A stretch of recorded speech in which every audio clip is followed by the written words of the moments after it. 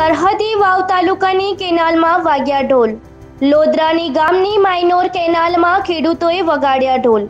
રવિ સિઝનમાં પણ કેનાલમાં પાણી ન આવતા ખેડૂતોમાં રોષ. ખેડૂતોએ ઢોલ વગાડી નર્મદા નિગમના અધિકારીઓને જગાડવાનો કર્યો પ્રયાસ.